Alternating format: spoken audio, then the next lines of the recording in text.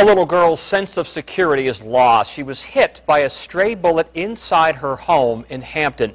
Eight-year-old Lachey Tolliver is in stable condition now at CHKD. Police say the bullet came right through the wall of her house on Augusta Street. 10 on your side's Ann McNamara is live at that location tonight, right outside the home. Ann? Come with me right this way. Let me show you where the bullet hit the house right there. And on the other side of this wall, that's where the little girl's father says she was sitting with her cousins waiting for mom to serve dinner.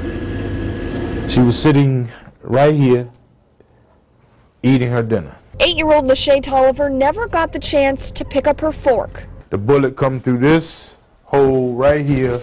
You can see the, the way the angle it, it came just like this and it hit her right in her mouth and it went out the back of her neck. Police say the bullet was stray gunfire. Lachey's father, Jeffrey Stokes, showed us that same hole, this time from the other side of the wall, the wall that may have saved his daughter's life. See, God saved her. God kept her. Because for a young eight-year-old to get hit with a caliber bullet like that, she is not supposed to be here today. Stokes didn't have the chance to see his daughter before she was taken to the hospital. He was with a friend down the street.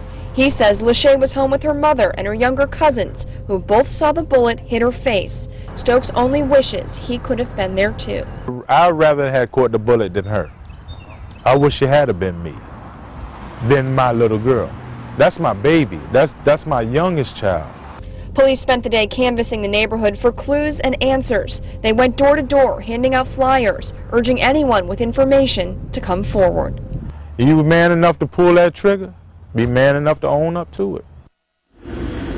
Stokes was able to visit his daughter today at the hospital. He tells me she couldn't talk because of all the medicine and also because she's on a breathing tube, but he said she definitely recognized him and doctors assured him and then reassured him she's going to be okay. Live in Hampton, I'm Ann McNamara, 10 on your side.